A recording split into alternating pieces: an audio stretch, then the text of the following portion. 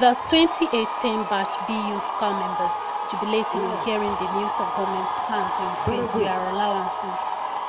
The Director General of the NYSC, Brigadier General Suleiman Kazaure, who was at the camp in Kubwa for inspection of facilities, says the upward review of the allowances is in line with the government's determination to pay more attention to the welfare of the Youth Corps members. We received a, a letter from the presidency that to the Ministry of Youth and Sport.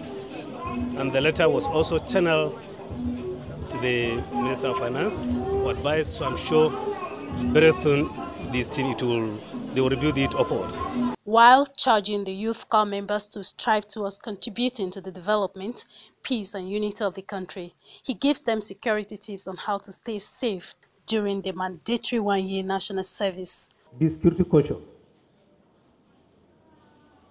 Avoid moving alone, gentlemen.